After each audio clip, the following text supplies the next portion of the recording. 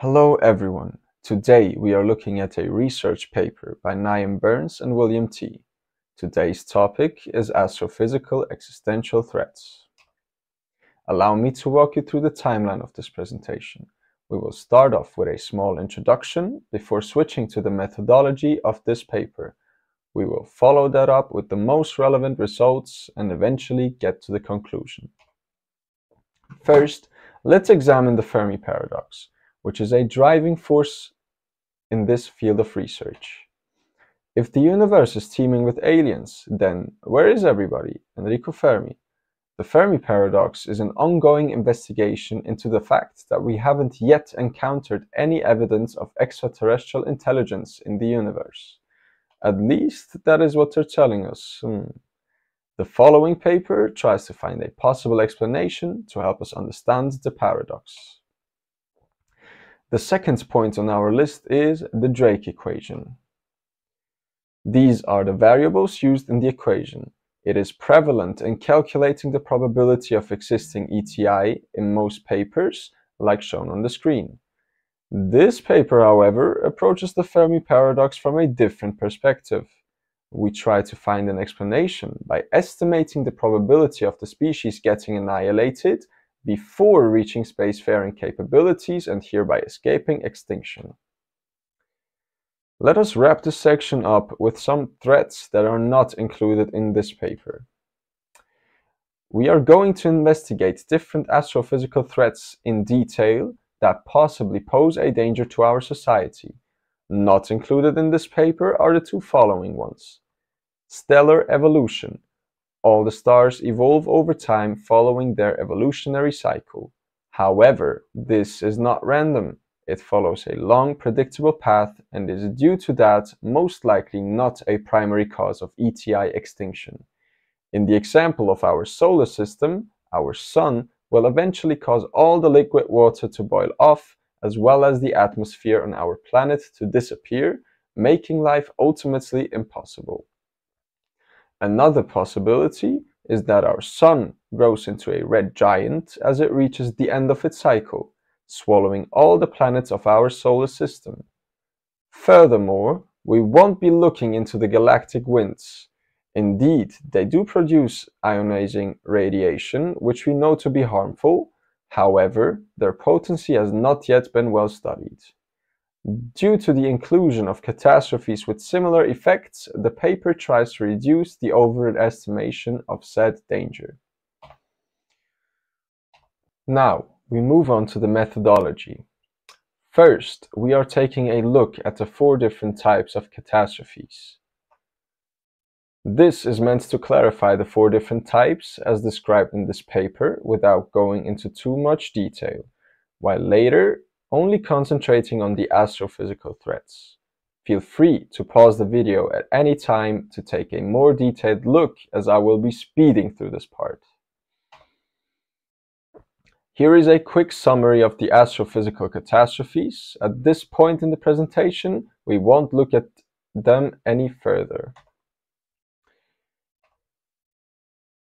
In the section of geophysical catastrophes, we distinguish between the following four. Magnetic field change, the collapse or reversal of the Earth's magnetic field. Natural climate change explains the change in the carbon dioxide silicate cycle. Planetary dynamics change describes a possible change in the Earth's rotation rate or inclination. And last, we have supervolcanism. This involves Deccan Traps type events, which played a role in the KT extinction that we will cover later. Next on our list are the biological catastrophes. Here we have natural disease. I believe we should all be familiar with the virus shown in this image above me. Interspecies competition, could apes someday take over the world, maybe? Natural species die off. Species are constantly evolving, and the ones who fail to adapt will inadvertently die off. And last in this list, we have the exospecies competition. Whether they are sentient beings or just viruses from deep space, they could lead to the human demise. This picture above me was taken during a US Navy training mission and the Pentagon still fails to this day to explain the origin of the seen object. And lastly, the following seven scenarios of socio-technological catastrophes. First one, artificial climate change. Global warming, or the opposite, a nuclear winter, could both lead to the extinction of the human race. Artificial intelligence competition, we need to be careful with what we create if we don't want to become the prey of AI. Genetic engineering change.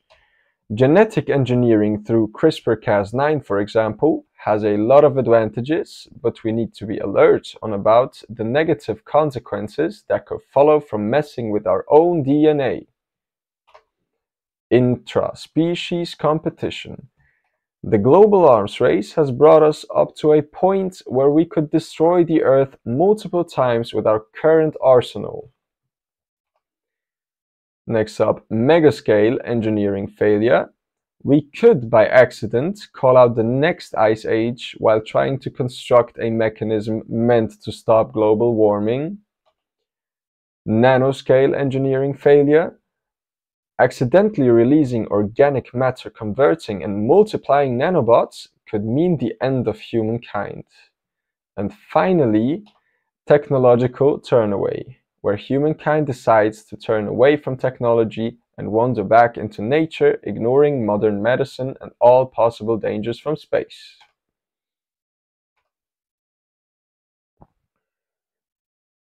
Now, let's look at some of the key assumptions fixed at the beginning of the paper. This research is done on these three main points. The paper only looks at carbon-based life forms in the habitable zone with liquid water available. Furthermore, we will be concentrating on our Milky Way with a stellar population of around 100 to 400 billion stars. The radius is estimated at 28 kiloparsecs. Eventually, we will analyze the difference between civilization destroying and species extinction threats debilitation that doesn't lead to an extinction is seen as good enough. Next up is the main method of calculation used in this paper. To calculate the different probabilities, this paper uses a simple Poisson distribution. The Poisson distribution expresses the probability of a given number of discrete events occurring in a fixed interval of time. We use a compound process to calculate the cumulative effects of all the factors.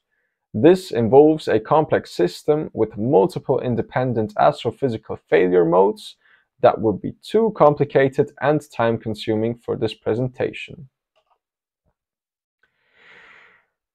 Last in methodology, we will look at the astrophysical catastrophes in detail. Now, we will be concentrating on the background information as well as the lethality modalities for every single catastrophe. First on the list are gamma ray bursts. GRBs are highly energetic short-term events that produce gamma rays, X-rays, as well as cosmic rays. The source of origin is not yet completely understood, but is suspected to originate from active galactic nuclei which are powered by massive black holes like Sagittarius A in the center of our galaxy, as well as neutron stars and black hole mergers. The illustration here shows a star's core collapsing into a neutron star, hereby releasing massive amounts of radiation in form of a gamma ray burst. Let us have a look at how gamma ray bursts can be dangerous for us. The paper Melott Thomas describes that the highly intense ionizing radiation leads to the depletion of the planetary ozone layer.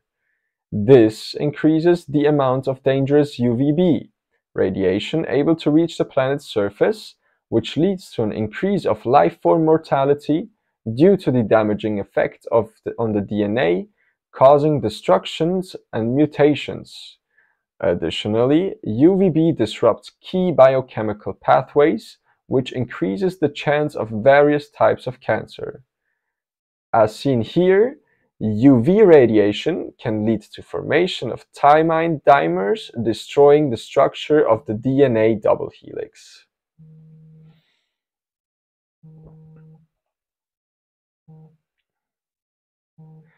Next off is the giant molecular clouds. We can find giant dust clouds all over the solar system. These consist primarily of hydrogen atoms as well as subatomic particles like protons and neutrons called baryons. Due to the rotation of the Milky Way, solar systems can be swept through the GMCs. The density of our local interstellar medium is approximately 0.2 hydrogen per cubic centimeter, while GMCs have a density greater than 100 to 300 hydrogen atoms per cubic centimeter. They can extend across 100 parsecs and can comprise up to several million solar masses. Shown in the background are the pillars of creation, photographed by the Hubble Space Telescope within the Eagle Nebula. Just like gamma ray bursts, giant molecular clouds can interfere with the ozone layer via increased cosmic ray flux. However, the primary lethality mechanism is called enhanced glaciation, which is described in Pavlov et al. Our sun creates a sort of protective bubble called the heliosphere that surrounds the solar system, as seen in this picture. Giant molecular clouds can interfere with the heliosphere, reducing it or even collapsing it. The collapse enables interstellar dust particles to reach and accrete in the Earth's atmosphere. These particles absorb and scatter the sun's insolation, leading to an anti-greenhouse effect. The planetary surface, as well as the lower atmosphere, start cooling, which can lead to a glaciation of the whole surface, the resulting product is above me and is called snowball Earth.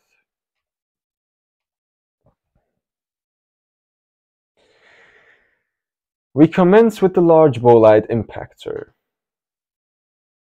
LBI include objects such as asteroids and comets, whose impact is typically accompanied by a large atmospheric fireball.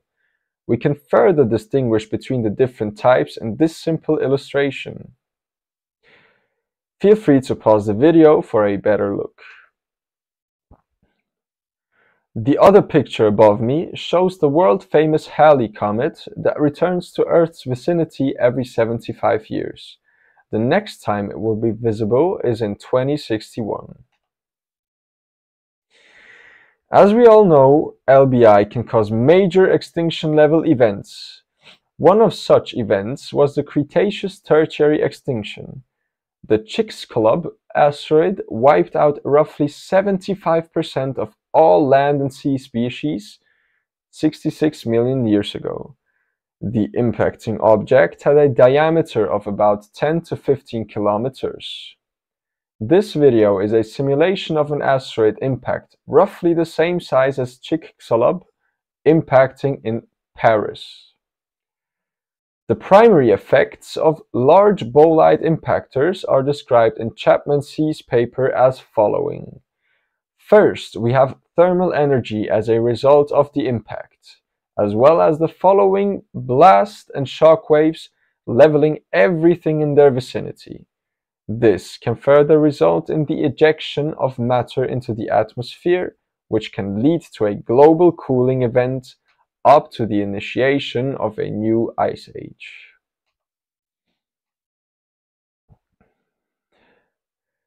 Next on our list is the rogue celestial objects. As an RCO, we define stars, black holes, and planets which are not initially bound to the receiving solar system. In order for these objects to be classified as RCOs, they need to have a sufficient mass to disturb the orbits of the planets in the affected solar system. The encounters with RCOs can give us four different outcomes. In the event of a direct collision, the planets would get all destroyed. while in a near miss the gravitational and electromagnetic effects could interfere with the local biosphere. As described in Arbab et al., objects can cause a gravitational perturbation of the orbital parameters, leading to an ejection of the planet from the solar system, or in the last scenario, a shift in the orbit to propel the planet out of the habitable zone.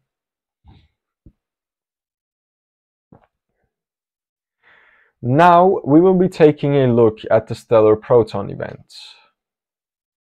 SPEs are highly energetic explosions originating in stars. These include solar flares, which are flashes of intense light radiation that erupt from small sections of the star, as well as coronal mass ejections, which are giant clouds of particles, plasma, and magnetic fields that are ejected from the star. The lethality effects are similar to those of gamma ray bursts, with the destruction of the ozone layer leading to more UVB radiation reaching the surface, eventually causing DNA damage in organisms. The video shows a coronal mass ejection that took place on August 31, 2012. Now, one of the most exciting galactic phenomena are the supernovae. As a star reaches the end of its evolutionary cycle, it can explode, releasing high amounts of gamma rays, X-ray photons, and cosmic rays. In contrast to the relativistic beam a GRB releases, SNEs release a spherical wavefront with a much smaller lethal distance of around 10 parsecs. The image to my right shows the remains of the 1967A supernova being the closest one to Earth yet and taking place in the Large Magellanic Cloud. Once again, the effects are similar, like the ones from GRBs and SPEs, leading to the eventual destruction of the DNA. The video to my right is an animation of the Crab supernova explosion that happened 1054.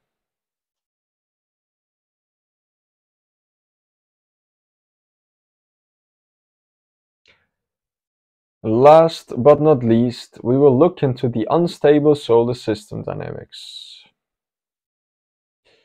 Solar systems are inherently unstable over prolonged intervals of time, for example 10 million years or more. Gravitational interactions among planets can cause their orbital parameters to shift, inducing a chaotic solar system motion. Even small gravitational effects can have a massive impact over prolonged time and result in catastrophic planetary orbital behavior. Just like in the case of RCOs, we have four different outcomes as described by J. Laskar and M. Gastineau. In a direct collision between two or more planets, all will get destroyed. A near miss causes the planet's local biosphere to change due to the gravitational and electromagnetic effects of the attacking planets. Third, the instability can cause the ejection of the planet from the solar system, or it could shift the planet's orbit out of the habitable zone.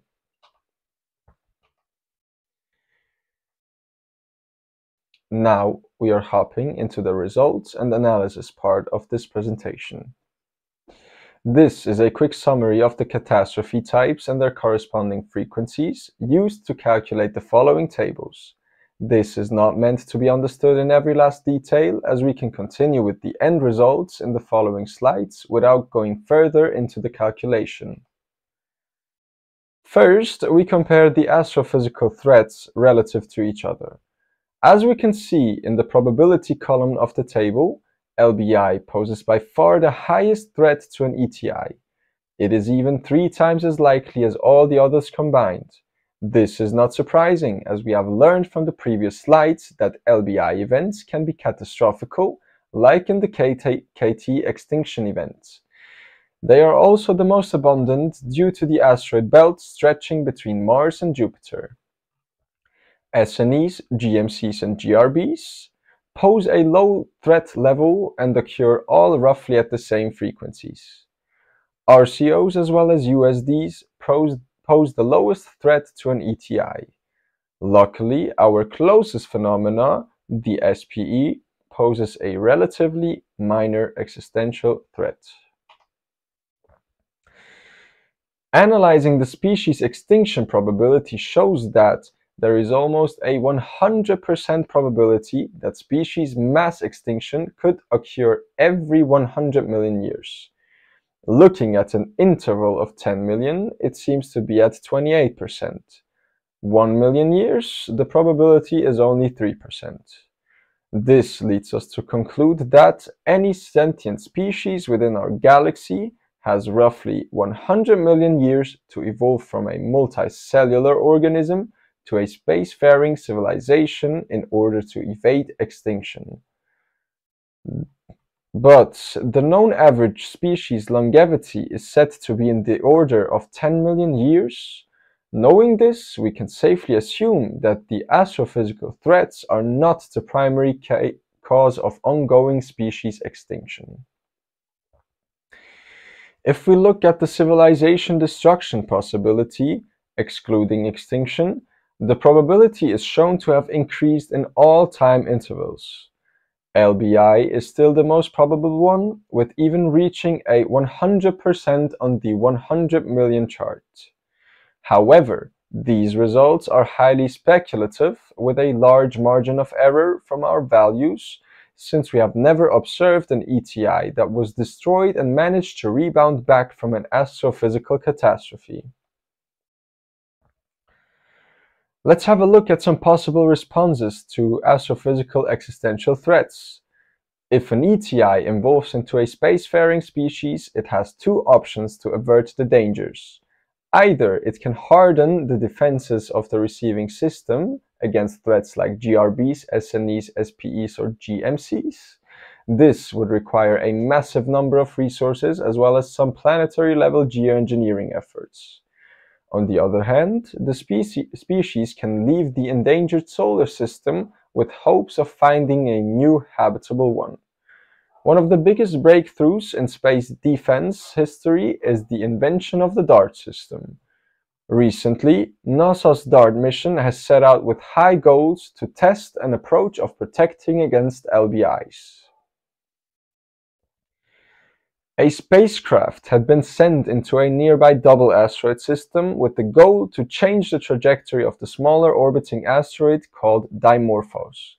To achieve this, the spacecraft would ram into the asteroid with high speeds. The mission was a success shortening the orbital period by 32 minutes. Above me is the video and the last few images of our spacecraft DART before it crashed into Dimorphos. Let us return to the beginning of the presentation. Was this analysis able to shed some light on the Fermi paradox? We have learned from the paper that astrophysical threats alone are not sufficient enough to explain the mysterious paradox. Due to the fact that 100 million years is most likely more than enough for a species to evolve from a microorganism to a spacefaring civilization. Perhaps if we take the other three civilization-ending catastrophes into our calculations, we could get one of the many possible solutions to the Fermi paradox. To wrap up this presentation, let's have a look into the conclusion. The paper has summarized the most important threats and estimated their danger to ETI. It takes an important step in understanding and hopefully solving the Fermi paradox, turning it into the Fermi theory.